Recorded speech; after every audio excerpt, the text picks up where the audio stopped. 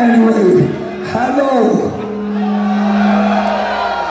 I wish this could be better tonight, but I came four days trying to come back to Brazil. I have so much stress in my voice. I'm fucking. It sounds like shit. So you guys must sing for me tonight, okay? And I have no fucking. What the fuck? Let's do it again. Come on.